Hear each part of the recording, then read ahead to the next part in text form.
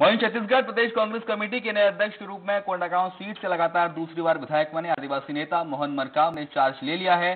प्रदेश कांग्रेस कार्यालय राजीव भवन रायपुर में मोहन मरकाम की ताजपोशी हुई। पदभार ग्रहण से पहले सीएम तत्कालीन पीसीसी चीफ भूपेश बघेल का संबोधन हुआ। पदभार संभालने के बाद मोहन मरकाम और सीएम भूपेश बघेल से खास बातचीत की है। सुराज संवाददाता ने। कांग्रेस को नया प्रदेश अध्यक्ष मिल गया है। भूपेश बघेल की जगह मोहन मरकाम अब प्रदेश अध्यक्ष होंगे।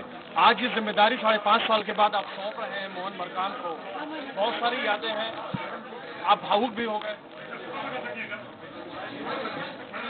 पाँच साल संघर्ष कर रहा है और सभी साथियों ने, चाहे वरिष्ठ हो, चाहे नौजवान हो, चाहे जितने भी संगठन के लोगों ने जो सहयोग दिया, विपरीत परिस्थिति में जो सहयोग दिया है, वो मेरे लिए जीवन भर के लिए यादगार रहेगा।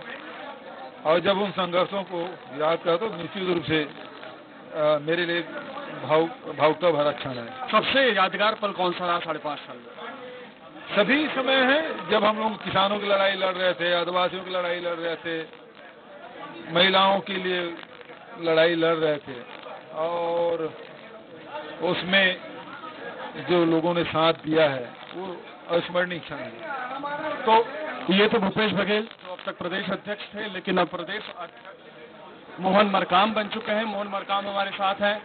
नहीं, चुनौती है, आगे नगरीय निकाय चुनाव है, आगे द, द, आगे पंचायत चुनाव है बस्तर में उपचुनाव है। हमारे लिए बहुत बड़ी चुनौती है इन चुनाव में जीत दिलाना।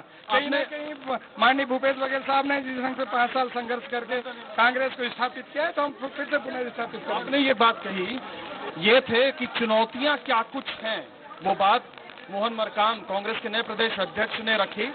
उन्होंने आज वो कुर्सी को संभाल लिया जिस कुर्सी पर साढ़े पाँच साल से मुख्यमंत्री भूपेश बघेल काबिज थे कैमरामैन शाम के साथ रायपुर से रूपेश गुप्ता।